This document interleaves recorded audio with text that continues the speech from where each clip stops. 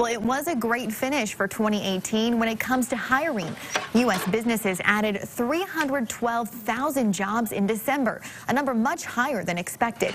Despite the addition of those new jobs, though, the national unemployment rate rate rose to 3.9%. That's up from 3.7% in November as more Americans did search for work. Overall, employers added 2.6 million jobs in 2018. That's compared to 2.2 million in 2017.